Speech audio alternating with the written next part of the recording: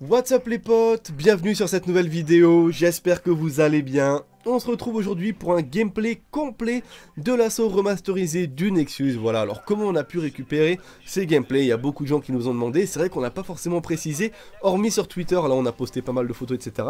On a eu la chance d'être invité par Activision à Los Angeles le week-end dernier à l'occasion de la PlayStation Experience. Enfin, c'était à Anaheim, juste à côté de Los Angeles, à une trentaine de kilomètres de Los Angeles. Et du coup, il y avait le PlayStation Experience, donc ça fait 3 ans que ça existe cet événement. C'est un événement organisé par Sony et il dévoile un petit peu en fait les jeux qui vont arriver au cours de l'année euh, sur PlayStation et du coup là Bungie était présent pour la deuxième année consécutive. Donc l'année dernière j'avais eu la chance déjà d'aller à San Francisco pour les courses de Passero et là cette année ils nous ont présenté l'avènement et on avait une petite soirée spéciale avec des, des youtubeurs, d'autres youtubeurs, donc il y avait des youtubeurs américains, des youtubeurs allemands, des canadiens et il y avait un anglais également qui était présent.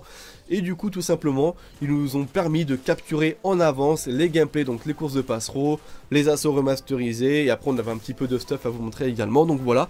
Donc là, vous voyez l'assaut du Nexus. Il faut savoir qu'il y a trois assauts qui sont remasterisés. Donc il y a également Tanix et Omnigul. D'ailleurs, j'ai également les gameplays complets, bien évidemment, de ces assauts. Donc si vous les voulez, il n'y a pas de souci, vous me le dites et je peux vous les mettre dans le week-end. On peut vous uploader ça avec Lady. Voilà. Donc il faut savoir que cet événement s'appelle l'avènement. Voilà. Donc en anglais, c'est The Dawning. Il commence le 13 décembre et pour y avoir accès, il faut tout simplement avoir les Seigneurs de Fer, le DLC. Voilà, cette mise à jour est gratuite si vous avez le DLC. Et franchement, cette année, le contenu est plutôt conséquent par rapport à l'an dernier. L'an dernier, on avait uniquement les courses de passereau. Cette année, on a donc les courses de passereau. Donc il y a deux nouvelles, les deux anciennes qui reviennent. On a également donc les trois assauts remasterisés. On a trois nouvelles armes exotiques. On a des nouvelles armures. On a le scoring d'assaut qui revient, enfin qui arrive. Donc vous voyez, le scoring d'assaut, c'est quand on fait des frags. Vous avez un score qui apparaît à l'écran et ce score est commun à toute l'équipe. Et vous voyez en bas à droite, on a un score, donc on est à 8800 par exemple, et le but c'est de monter le score le plus haut possible, voilà, parce qu'il y a également un nouveau carnet de récompenses qui arrive, et donc il y a une partie pour les courses de passereau, j'ai pu le présenter en vidéo si vous voulez le voir, et euh, donc il y a une partie pour les courses de passereau, il y a une partie également pour le scoring d'assaut, avec des petits défis comme faire au moins 40 000 points euh, dans un assaut des seigneurs de fer et faire 55 000 points en nuit noire, voilà. Et euh, les points, vous les gagnez en faisant des frags, en faisant des frags à la grenade, en faisant des frags au super. Il y a des médailles à débloquer, etc. Enfin voilà, ça, j'ai fait une petite vidéo pour en parler avec le carnet de récompense.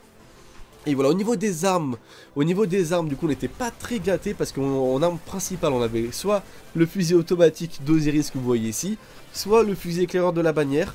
En arme secondaire, on avait le brise-glace, donc évidemment là je joue au brise-glace, ou le garde de Saladin, ou le fusil à pompe de la bannière, j'ai perdu son nom. Et en arme lourde, on avait le lance-roquette de la bannière, ou les deux nouvelles armes exotiques, donc euh, elles sont un petit peu comme le maître du tonnerre, mais en version abyssale et en version solaire, voilà.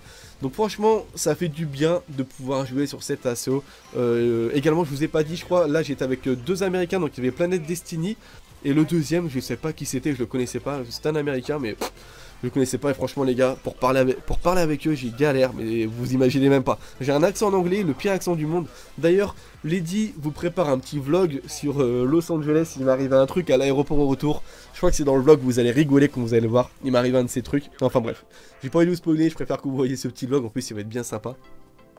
En tout cas, voilà, franchement, ça fait plaisir. Et là, du coup, on arrive dans la zone dans laquelle il y a un premier changement, en fait, euh, par rapport à l'ancien assaut vous allez voir tout simplement, il y a un, gros portail qui va se dresser devant nous. On peut plus rusher comme avant, hein. pour ceux qui étaient là en année 1, vous vous souvenez, là on pouvait rusher à cet endroit-là, on rushait, il n'y avait que les minotaures. Donc du coup, ce qu'on faisait des fois, c'est qu'on laissait passer un chasseur euh, épéiste, parce qu'évidemment à l'époque, on n'avait pas encore les grenades du chasseur flèche pour passer. Du coup, on mettait un épéiste qui passait là-dedans scred, euh, ou voilà, ou passait en arc arrière en rushant et tout, c'était du grand n'importe quoi. Mais franchement, je suis assez nostalgique de cette année 1 sur Destiny. Pour moi, l'année 1, ça restera quoi qu'il arrive la meilleure, la meilleure année sur Destiny, c'était vraiment l'année 1, c'était le feu, c'était là, euh, c'était vraiment le mieux. Franchement, c'était vraiment le mieux. C'était là on galérait à monter les niveaux de lumière. C'était, euh, c'était terrible quoi. Là, ah, et le meilleur raid de tous les temps sur Destiny. Enfin, j'espère que sur Destiny 2 ils seront mieux quand même les raids, mais Athéon il était vraiment fabuleux. C'est vraiment le meilleur raid de Destiny 1. Il était vraiment énorme. La difficulté était présente. On lootait pas comme aujourd'hui. Vous voyez aujourd'hui, vous lancez le le dernier raid, vous lootez à toutes les étapes. Vous pouvez même looter deux fois en ouvrant un coffre à l'époque d'Athéon, déjà il n'y avait pas les coffres que tu pouvais ouvrir maintenant là, il n'y avait pas ces coffres là. Et en plus, les loots étaient pas obligatoires, du coup des fois tu sortais du raid, t'avais zéro loot du raid. Alors déjà tu galérais pour looter les armes, en plus il fallait looter toutes les armures du raid pour monter à, au niveau 30, parce qu'à l'époque c'était niveau 30, il n'y avait pas les niveaux de lumière encore. Et, euh, et puis voilà, il fallait vraiment looter toutes les armures. Alors des fois, je me souviens, j'ai mis peut-être deux mois à monter au niveau maximum. Lady était parmi les premiers français, alors c'était pas la première, hein, mais elle était vraiment parmi les premiers français à être niveau 30. Et euh, vraiment, elle a déjà mis du temps à monter niveau 30. En plus, t'avais la Vex à l'époque aussi, donc l'arme exotique à looter sur le boss du Red Hard, sur, euh, sur Athéon en Red Hard. Cette arme-là, tu mettais du temps à la looter. Ah là, vraiment, les gars, petite parenthèse ici. Vous vous souvenez ici, c'était la loot cave à engrammes, les gars. Donc pour ceux qui connaissaient pas, on arrivait dans cet assaut-là, on tuait tous les ennemis, ça faisait tomber masse engrammes et on sautait dans le vide et on reprenait. Et on faisait ça des centaines de fois pour avoir des engrammes. C'était ça, c'était un truc de ouf. On en a une aussi sur Destiny. Franchement, les gars, eh, mettez-le dans les commentaires si vous étiez là en année une et si vous aussi vous avez farmé des engrammes à cet endroit-là. Il y avait cet endroit-là, il y avait la loot cave aussi sur le Cosmodrome. Enfin, il y avait trop d'endroits où on pouvait faire ça. C'était une folie. Maintenant, ils ont baissé le loot des engrammes. Mais à l'époque, les gars, les engrammes, ont tué des petits ennemis en masse comme ça. Il y avait plein d'engrammes qui tombaient. Et quand t'étais en année 1, que tu galérais pour monter les niveaux, crois-moi, tu le faisais. Hein. Tout le monde l'a fait. Ah, même si, bon, moi je me souviens de ne pas l'avoir fait. Franchement, je l'ai pas fait énormément. Je l'ai fait beaucoup moins que certains joueurs. Mais je l'ai fait quand même. Et franchement, je pense qu'il y a beaucoup de gens qui l'ont fait. Et, et, voilà, franchement, ça fait plaisir en tout cas de retrouver cet assaut. Franchement, c'est un assaut emblématique de l'année 1, je trouve. Et voilà, surtout de par le fait qu'on pouvait looter masse d'engrammes dans cette petite loot cave. Enfin voilà, du coup là on a, on cligné tous les minotaures. Alors même chose, vous vous souvenez à l'ancienne on pouvait rester là-haut et sniper les minotaures. Et à chaque fois il y avait un minotaure qui réapparaissait derrière nous dans la grotte. Maintenant c'est fini ça les gars parce qu'il y a un nouveau truc qui va arriver et il faut absolument rester en bas pour pouvoir, vous allez voir, purifier les autres, les les coéquipiers. Donc ça vous allez voir par la suite. Donc c'est Crillon, il est présent les gars, l'esprit du Nexus, il est là. Franchement, c'est Crillon. Il nous a manqué ces crayons. C'était l'assaut qui manquait, on les a tous vus remasterisés. Bon, à part Omnigul et Tanix, bien évidemment, ils étaient dans les DLC, mais là ils reviennent. Mais ces crayons, moi, ils m'avaient manqué. Hein. moi, j'aimais bien ces crayons. Je jure, j'aimais bien. Oh, Nuit Noir, il était galère des fois. À l'époque, il était galère. Et tout était plus dur à l'époque aussi. Et puis on maîtrisait pas aussi bien le jeu qu'aujourd'hui non plus. Ça, on peut le dire, on maîtrisait pas les doctrines. Quand t'arrivais dans le premier raid, que ta doctrine, t'avais que deux lignes d'améliorer, t'avais pas les dernières, tu galérais. Hein. Donc là, vous avez vu, première euh, première euh, petite modification sur le boss, on peut savoir qu'il y a deux mécaniques différentes sur le boss. Vous avez le boss en normal, donc c'est là. Sur ce boss en normal, tout simplement, des fois, vous avez euh, l'abysse, un truc comme ça. Voilà, vous avez l'abysse qui vous inflige, euh, je sais plus, je vais vous le redire après, il y a la phrase en bas, j'ai perdu le nom exact. Et du coup, il faut aller se purifier parce que votre écran devient tout noir. Donc ça, c'est comme le Templier, vous vous en souvenez à l'époque, tout simplement, du caveau de verre. Il y avait la même chose, quand tu marchais dans la fumée verte, je crois, elle était verte, la fumée et bah fallait directement être purifié sinon tu mourrais, tu, voyais plus rien en fait, ton écran devenait noir et évidemment tu finissais par mourir. Voilà, du coup là faut aller se purifier, sauf qu'une personne suffit à rentrer dans la marque pour purifier tous les ennemis. Euh, tous les alliés, pardon, donc ça voilà. Donc vous voyez, voilà, c'est marqué par les abysses marqué par les abysses. Donc là, vous voyez, on est encore marqué par les abysses. Et vous voyez que l'écran devient petit à petit, il devient noir. Voilà. Et du coup, la deuxième mécanique, en fait, le boss est en version corrompue. Donc celui-là, j'ai pas pu l'essayer malheureusement. Mais je sais, parce que j'ai pu voir des screens qu'en version corrompue, on a le bouclier. Vous savez, sur le Templier, il y a le bouclier également. Et eh bien, on va avoir ce bouclier. Et je pense qu'il faudra donc taper le boss avec le bouclier pour ensuite pouvoir le DPS. Voilà, c'est c'est une hypothèse, mais franchement, il y a de grandes chances que ça soit comme ça. Je vois pas comment ça peut être autrement. En tout cas, j'ai vraiment hâte de l'essayer en corrompu pour le coup.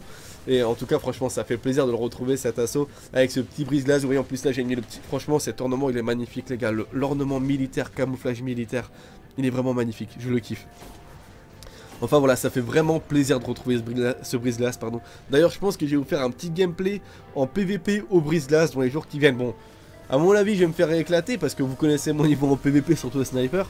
Mais bon, je pense que je vais vous faire ça dans les, jours qui viennent. En tout cas, franchement, ça fait vraiment du bien de retrouver ces assauts. Et franchement, les gars, je vous le dis franchement, hein, parce que là, à l'époque du DLC de la Maison des Loups, je m'en souviens qu'on s'était emballé, on avait essayé le DLC et tout. Et moi, je me suis dit, tiens, le DLC, il est béton, prison des vétérans, etc. Surtout que quand tu vas tester un DLC normalement chez l'éditeur, il te montre jamais tout le DLC, tu vois. Normalement, il te montre une petite partie, et la plus grosse partie vient après le raid, etc. Et en fait, la prison des vétérans, c'était euh, le truc le plus béton quand on a testé la maison des loups. Et à l'époque, on s'était trompé, ce DLC, c'était vraiment... Franchement, je peux vous le dire aujourd'hui, moi, le DLC de la maison des loups, j'étais totalement déçu. Mais là, une mise à jour gratuite avec des, assauts comme ça, le scoring d'assaut qui arrive, les courses de passereau, sachant que les courses de passereau vont également rester en partie privée après le 3 janvier, donc après la fin de l'événement.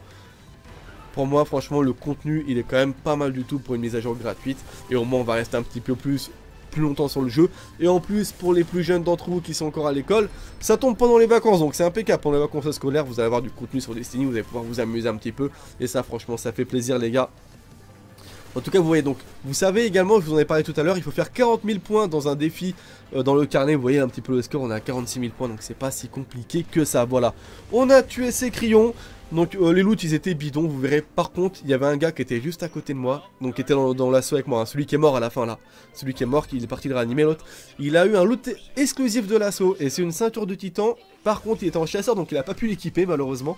Et en fait, elle a la même forme que ses crayons, vous voyez, donc elle a voilà, une forme un petit peu triangulaire à l'envers. Voilà, donc vous voyez, euh, voilà, un petit peu comme ça. En tout cas, j'espère vraiment que cette vidéo vous a plu les potes. N'hésitez pas à me dire si vous voulez Omnigul et Tanix en remasterisé. Quant à moi, je vous souhaite vraiment un excellent week-end les potes. Prenez soin de vous. Tchuss